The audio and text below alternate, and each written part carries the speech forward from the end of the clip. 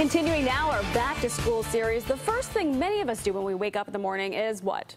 We grab our phone. We search through our emails, our social media, all to catch up on the world while we were sleeping.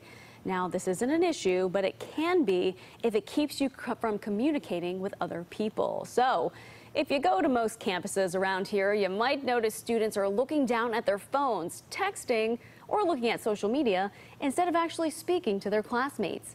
Me'Chelle McKenney, the owner of Third Degree Solutions, says all of this liking and commenting is actually making people somewhat socially awkward.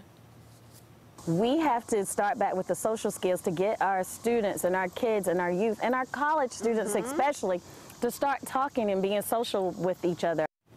Coming up tonight at 5 o'clock, McKenney shares with me how you can make sure your student at any age can still have a face-to-face -face conversation with people. And it's a big mm -hmm. problem. A lot of people, they're just so used to texting or liking everything on social media. Then when they talk face to face, one girl says she doesn't like it because of awkward silences. I'm like, that's so sad. It is sad because you miss the experience. Mm -hmm. And you know, you don't always know what someone's saying in text, if they're really no. mad or happy or what's going on.